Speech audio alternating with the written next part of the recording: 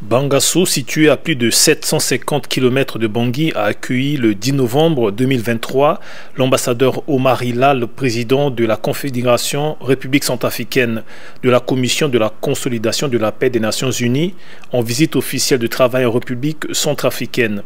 Cette visite de travail à Bangassou a été marquée par des échanges avec les autorités administratives, dont la préfète de la préfecture du Mbomo, Pierrette Benguéré, sur la situation sécuritaire, l'appui de la communauté internationale aux élections locales à venir, la mobilisation et la participation massive des femmes aux échéances électorales, également sur les projets soutenus par la MINUSCA, dont le Mbomo en général et Bangassou en particulier.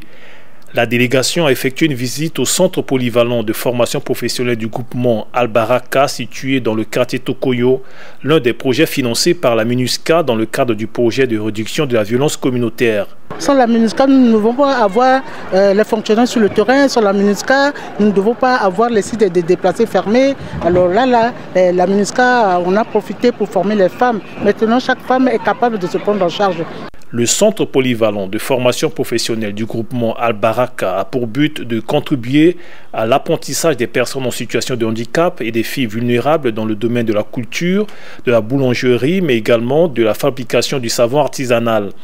L'initiative répond aux besoins d'inclusivité des personnes en situation de handicap ainsi que des personnes vulnérables afin de renforcer leurs capacités professionnelles et financières